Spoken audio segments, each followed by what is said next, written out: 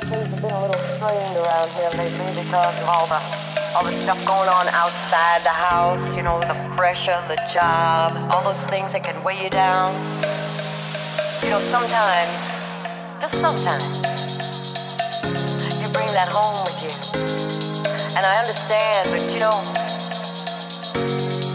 I want us to just stop for a minute and think about how much we have together.